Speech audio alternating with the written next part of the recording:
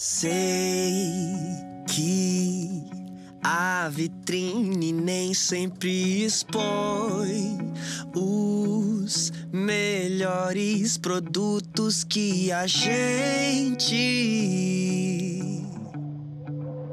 tem no estoque,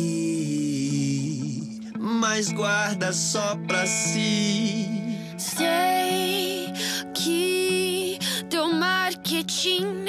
Sempre favorece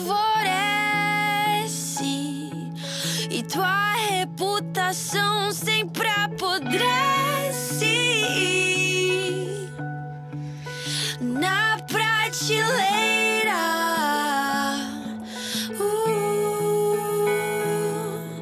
é hora de trocar de pele. Varrer pra baixo do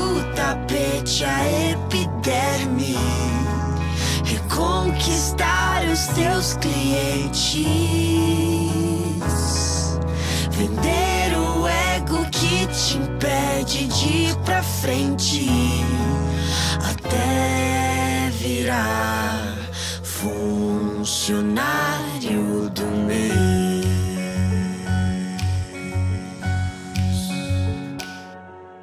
Sei que o mercado sempre é feroz. E a competição entre os concorrentes